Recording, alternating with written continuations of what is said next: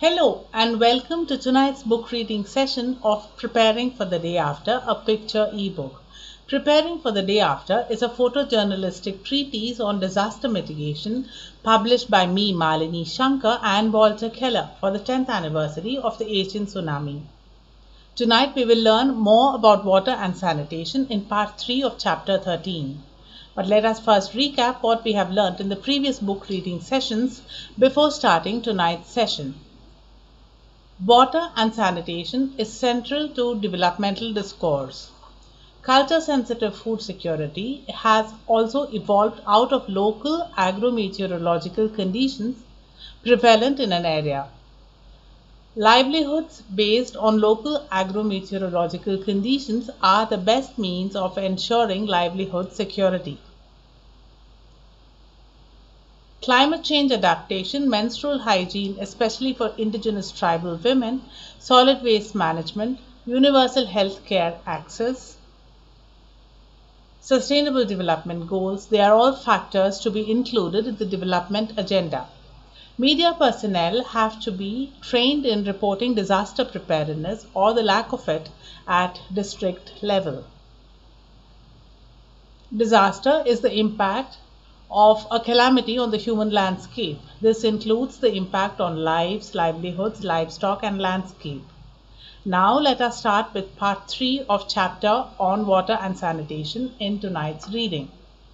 Like most of the countries affected by the Asian tsunami, there is no credible documentation of water consumption patterns and water deficit. This despite the fact that the water scarcity plagues most of the countries in the tropics. This is acquiesced in the WHO study called the Asian Tsunami 2004, a comprehensive analysis in its different country reports. Had this documentation been there before the tsunami, for one thing, it would have readily served as a reference for shipment of drinking water bladders, water purification tablets, and desalination equipment, cartons of bottled water, etc. In the absence of documentation, it is not clear how the disaster displaced survivors managed without access to clean drinking water in the days before aid arrived. This lack of documentation regarding water consumption patterns is a glaring lapse on the part of the country's administrative machinery put together.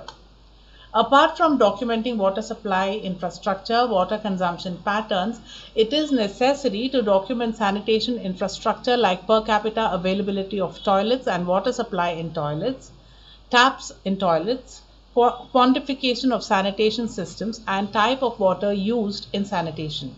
This too will help in speedy reconstruction. In the Maldives, for instance, in addition to water supply, the tsunami also damaged the already weak wastewater disposal infrastructure, destroying toilets, damaging septic tanks, and blocking sewage systems. An estimated 5,000 toilets were damaged or destroyed, and on some of the hardest hit islands, as many as 90% of toilets were destroyed. In addition, 15 islands reported that their sewage systems were blocked. Many septic tanks were damaged when an upwelling pressure wave that preceded the tsunami wave lifted and cracked the septic tanks. The pressure wave and the tsunami waves are believed to have damaged an estimated 1,500 septic tanks and septic tank connections. The tsunami wrought damage to the tune of 13.1 million US dollars of toilet and sanitation infrastructure. A February 2005 joint needs assessment estimated that restoring water and sanitation system would cost 45.6 million US dollars according to the WHO study, the Asian Tsunami 2004, a comprehensive analysis. There is also a dire need for solid waste management and sustainable solutions for waste disposal. The need for this is justified on the account that long-term and permanent solutions can be evolved through sustainable best practices in solid waste management. Who knew three decades, decades ago that a hydrogeological emergency would push and advocate for sustainable remedies in solid waste management?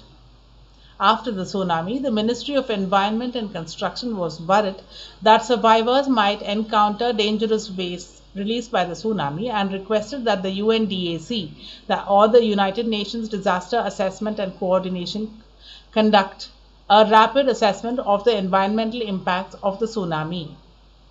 The UNDAC deployed its environmental unit, the UNEP, which arrived on the 28th of December, following an assessment of environmental damages, including an assessment of the Maldives waste disposal island. The UNEP worked with local environmental authorities to clean up hazardous wastes. The cleanup effort targeted 100 islands and educated and trained 35 island officials on hazardous waste management. It has been found that the Maldives is in need of emergency operations center, backup communication systems, designated information focal points, emergency shelters or warehouses for storing emergency supplies. In Sri Lanka, in Sri Lanka, 11 million people lived on the coastal districts out of the total 19.4 million population of the island nation. Being coastal fisher folk living on the coast, their access to water and sanitation was already below the national average. According to UNEP's rapid environmental assessment after the tsunami, quote, inland waters, wetlands and agricultural land fundamental to people's livelihoods were salinated. Agriculture yields will be affected in the immediate future. Shallow wells and groundwater supplies, especially in small islands, are now contaminated with salt water. In some cases, fecal bacteria and damage from damaged or destroyed septic tanks and pit toilets have infiltrated water supply systems. WHO estimates that approximately 35,000 people were tsunami affected population in Sri Lanka. That amounted to 0.18% of its population greater than in any other country impacted by the tsunami, according to the WHO study. Another 23,059 survivors suffered injuries. As part of the water and sanitation relief, malaria preventive drives included distribution of bed nets by UNICEF and WHO in Sri Lanka. WHO distributed 50 pesticide fogging machines, but spent nearly eight times the amount of resources on bed nets as it did on insecticides. IDPs or internally displaced persons living in camps were certainly water starved in terms of water and sanitation. The WHO study expectedly validates. All 13 coastal districts that were affected by the tsunami suffered damage to the sanitation systems. An estimated 62,000 wells were contaminated or abandoned due to salinity or seawater contamination. 12,000 wells required cleaning. The greatest water and sanitation system damages occurred in the eastern province in the district of Ampara, where there was an estimated US dollars 12 million in replacement costs and indirect losses cites the WHO study called the Asian Tsunami 2004, a comprehensive analysis. Immediately after the tsunami, sanitation in some camps was poor due to inadequate toilet facilities, waste disposal, and distribution of safe water. The number of latrines available was alarmingly low in many camps. This is a recipe for disaster, as have already as we have already learned from the Haiti experience. Ideally, a flushing toilet should serve no more than three people on a per capita basis.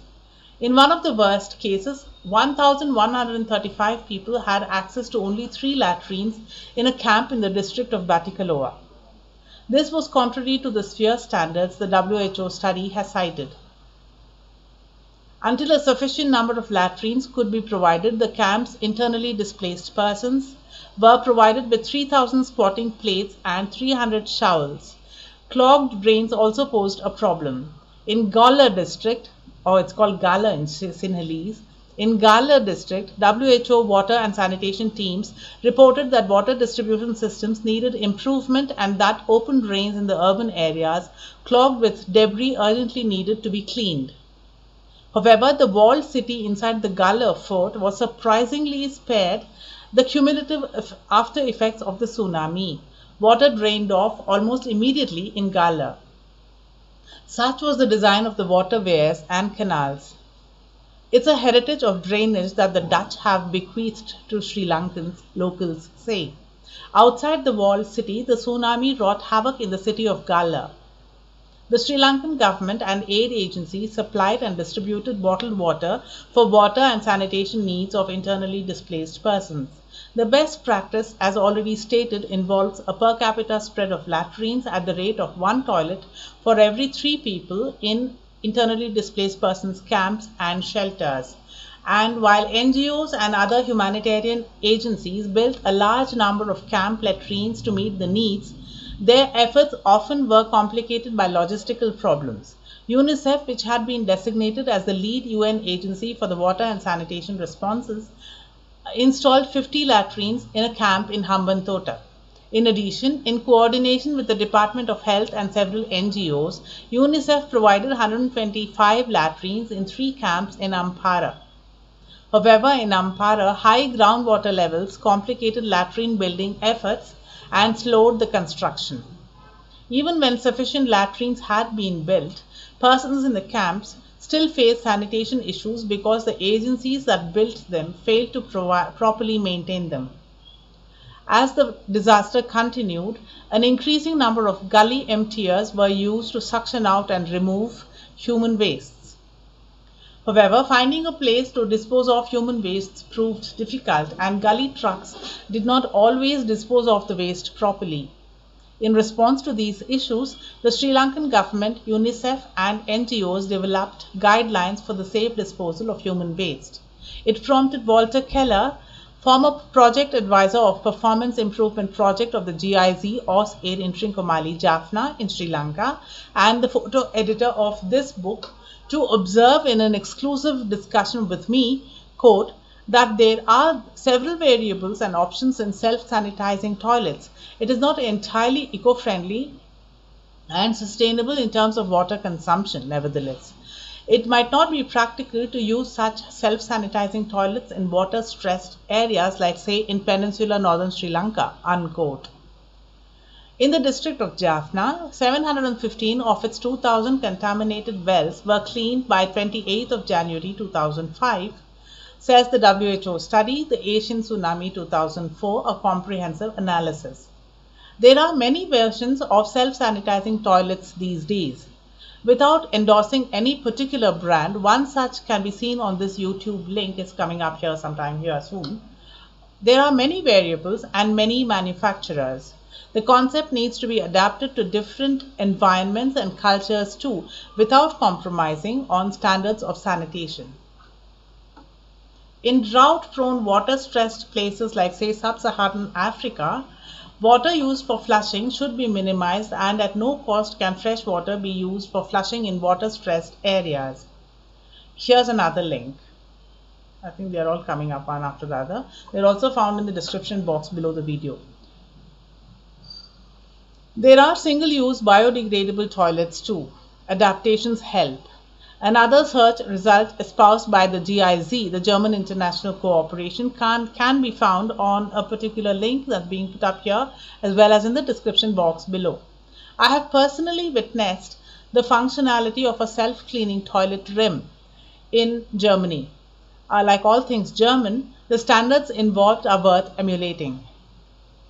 The self-sanitizing German toilet involves a flexible WC rim or a toilet seat which automatically sanitizes the rim with disinfectants and toilet cleansing agents, dries itself, covers the rim with recycled paper and presents itself as a freshly disinfected rim for the next user all within 3 minutes after the last flush.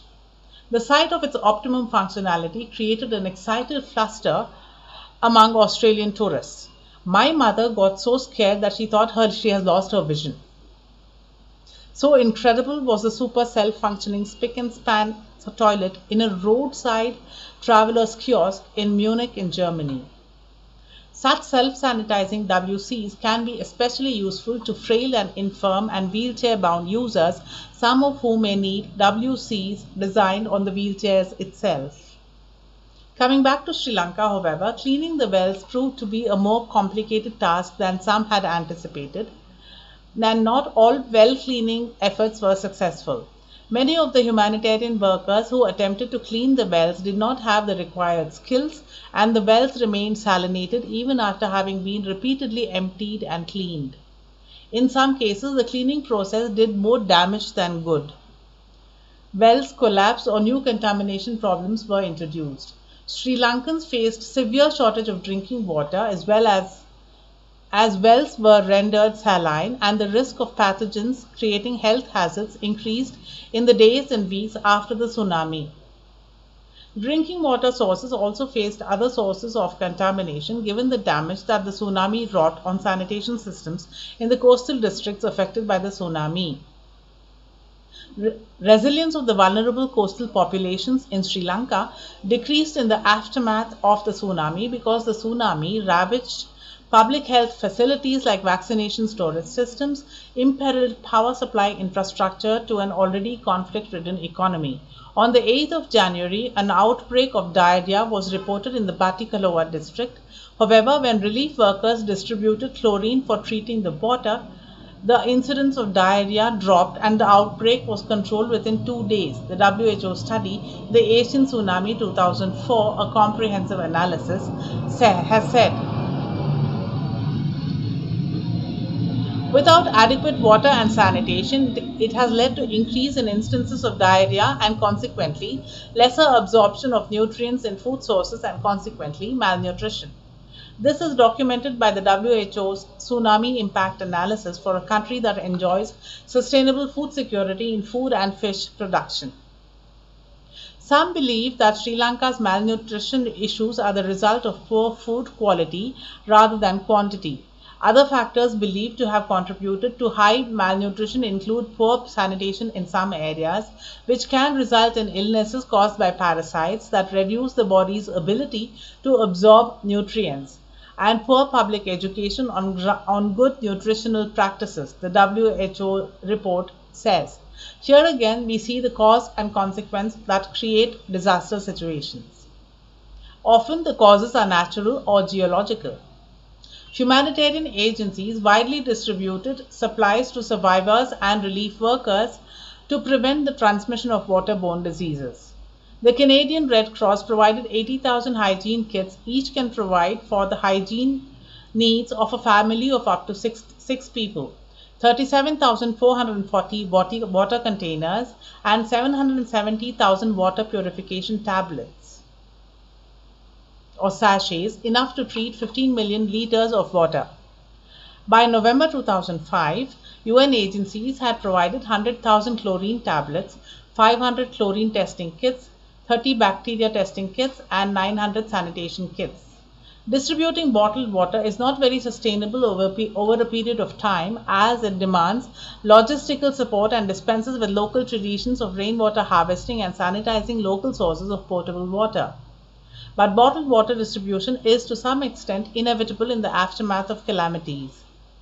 Bottled water also creates unparalleled challenges in solid waste management. Best practices therefore would be reusable metal containers like steel or copper glasses meant to hold and drink water from. In South Asia, this also enjoys cultural sanction. But then again, cleaning and sanitation cannot be compromised upon. Disposable stuff like paper cups or plastic cups have created enough din in the absence of best practices for solid waste management in all emerging economies across the planet. There is no need to add to the problem. The menace of non-biodegradable containers like plastic cups have burdened and clogged drains, adding to the problem of sanitation. So the best practice indeed is steel or copper cups and containers without compromise on cleanliness. The tsunami scattered an estimated 900,000 metric tons of debris along the Sri Lankan coastlines. In impacted areas, an already weak waste management system collapsed and waste was dumped indiscriminately, thereby compounding environmental health hazards. Tsunami scattered debris such as tires, pans, plastic water bottles, boats, oars, etc. Left many new places for rain to collect and hence increased the potential for mosquito menace. The danger of transmission of malaria and dengue fever increased. Additionally, scattered debris, including broken glass and scattered bits of sharp metal, posed new injury hazards and health wastes became a problem. This is how cause and consequence build up to create disaster situations. In the aftermath of calamities, it does not take either rocket science or a disaster of the scale of the Asian tsunami to practice high standards of solid waste management indeed. In Thailand,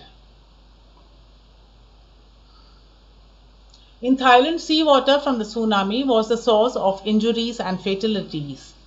A total of 8,327 people are believed to have died. The tsunami killed 2,392 foreigners from 36, 37 countries and approximately 6,000 Thai nationals. In addition, an estimated 91,638 Thai nationals lost a family member or home to the tsunami waves, according to the WHO estimates. Along Thailand's 960 kilometers of Andaman coast, wave heights were highest in three provinces, Phang Nga, Phuket and Krabi. These places also accounted for 8,146 of the 8,327 lives lost to the tsunami. In Phang Nga province, the highest waves occurred in Khao Lak district, where tsunami waves reached more than 10 meters high and killed more people than in any other district. In the Khao Lak area, tsunami killed more than killed about 3,000 people out of 15,000 people. In resorts and other buildings near the Khao Lak shore, the tsunami waves blew out walls on the first and second floors. In Phuket province, highest wave heights of 5 to 6 meters occurred along Patong beach, the province's most popular beach. In the Krabi province, the tsunami most acutely impacted Phi Don, where one area was hit by the tsunami from two directions. The island is shaped like the letter H, eh, like the English letter H, and when the tsunami arrived, it completely inundated the center of the island from both the north and the south with waves that were more than 5.8 to 4.6 meters high.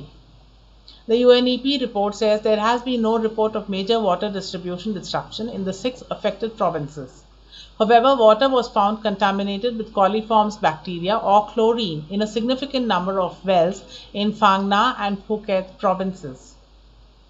Medical reports following the tsunami suggest that most of the injured suffered open wounds and or respiratory complications ranging from mild lung inflammation to serious infection caused by near drowning according to the WHO study.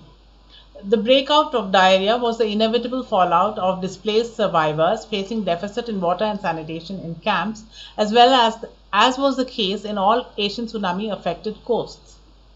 Both no sorry between 26th December and 11th January 2005 that is the reported incidence of diarrhea was about 1.7 times higher than it was for the same period one year earlier that is about 2,950 cases per 100,000 compared to 1,758 cases per 100,000 as per statistics provided in the WHO study. Waterborne diseases on account of spread of malaria and dengue carrying mosquitoes were another threat brought out by the disaster. After the tsunami, an unusual number of dengue outbreaks were reported, but these were not believed to have been related to the Asian tsunami. Thailand had high levels of access to safe drinking water and improved sanitation prior to the tsunami, and the disparities between urban and rural access were small. As of 2000, the year 2000, 91 to 97 percent of the population had access to sustainable, improved water sources with greater access among urban populations than rural populations. Thailand's urban population enjoyed 99.5% access to clean drinking water and sanitation according to the WHO study. Access to ample rainwater harvested accounted for lack of water stress, the WHO study cites. But sanitation infrastructure in the tourist areas on the Andaman coast of Thailand was affected severely by the disaster. The tsunami damaged 19 water supply systems, costing an estimated 615,860 US dollars in direct damages. In Khao Lak, the tsunami flooded the Phang Nga Navy Base water treatment plant, uh, damaging electric controls and the emergency generator, which was rendered useless. In the Kamala Beach area of Phuket, tsunami was rendered tsunami damage disrupted water services for nearly three weeks.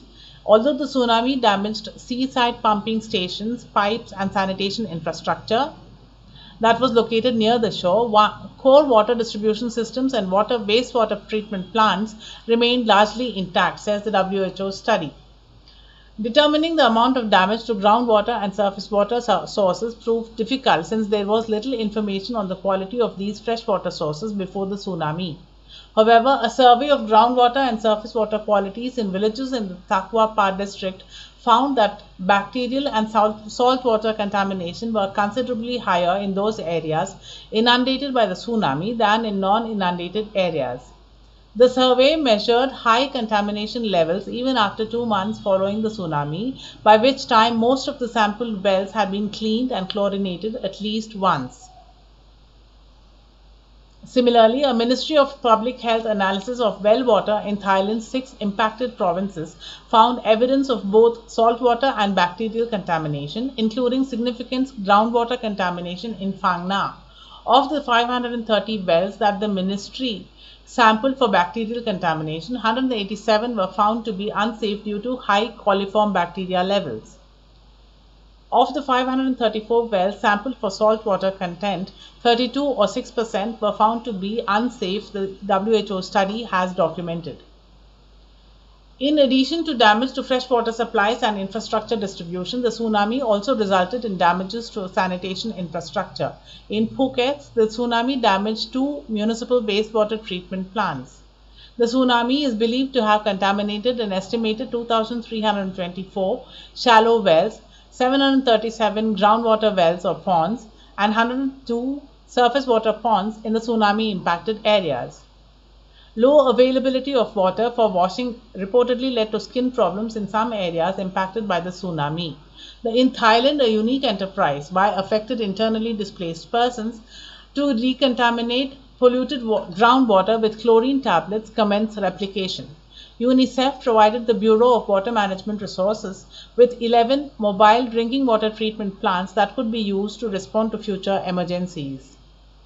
Given that Thailand had enjoyed 99.5% water and sanitation, it already has an inherent resilience to the tsunami included induced disaster in that the water and sanitation infrastructure despite some damages, was still functional despite the occasional outbreak of dysentery or diarrhea. That, in a sense, is the disaster preparedness of the, on the front of water and sanitation in disaster-struck areas. The best practices in water and sanitation interventions in disaster-struck areas are flush, one flushing toilet must serve a maximum of three persons in disaster shelters. Recycled or treated water or grey water must be used for flush tanks. Toilets must be automated for self-sanitation after every seven flushes in shelters. Toilet cleansing agents must be made available to identified volunteers who take up the responsibility of having toilets washed and sanitized every hour when shelters are occupied during calamities. If volunteers from the communities affected take up responsibility of sanitizing toilets, in shelters, awareness is automatically generated amongst first responders, uh, that is the stakeholders. That will also lessen the burden of the municipal authorities in the disaster-struck areas. Tsunami inundated hinterlands in India, Indonesia, Thailand, Sri Lanka and the Maldives, uh, which were dotted with decomposing corpses and cadavers of livestock, and they had to be fumigated to prevent vectors and viruses from colonizing waterlogged areas. Breeding grounds of such vectors and viruses increase the threat of disease among survivors. There is an urgent need to fine-tune and hone best practices in solid waste management so that non-biodegradable wastes like plastics do not clog stormwater drains. In the Galle fort in Sri Lanka, drainage infrastructure was the one feature which helped the city. Invading seawater drained quickly thanks to the Dutch designed drainage. It helps to avoid usage of disposable plastic and paper cups or containers on account of lack of standardized manufacturing stipulations and lack of defined legislation in solid waste management. Best practices therefore would be reusable metal containers like steel or copper glasses meant to hold and drink water from. In South Asia, this also enjoys cultural sanction.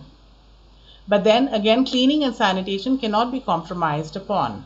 Disposable stuff like paper cups or plastic cups have created enough din in the absence of best practices for solid waste management in all emerging economies across the planet. There is no need to add to the problem. The menace of non-biodegradable containers like plastic cups have burdened and clogged drains, adding to the problem of sanitation. So the best practice indeed is steel or copper cups and containers without compromise on cleanliness. In this chapter, an attempt has been made to draw anecdotes from the reports of disaster management from countries affected by the Asian tsunami. From these anecdotes and records of events and extrapolation of data, we, have, we hope the best practices evolved offer credibility and authenticity. It is hoped that the lessons learned can be practically replicated so that the documentation serves its purpose and others do not have to replicate the suffering. Instead, learn from lessons uh, in other disaster struck areas. And that is all for tonight. With this, we have finished chapter 13 on water and sanitation. The next chapter is about the impact of the tsunami on agriculture, change in cropping patterns, and impact of climate change. But then I will be traveling again on assignment from the 18th, that is Monday, next Monday, October 18th to 31st of October. And my assignment ends on 30th November. So I think I will have to take a break. I will try my best to put up the videos and do the interactive sessions but do please do bear with me please don't forget to tune in for the live interaction at around 7:30 p.m. Indian time on Saturday evening 9th of October 2021 I hope to catch you all live during the live interaction. Until then take care keep smiling stay safe and stay home. Ciao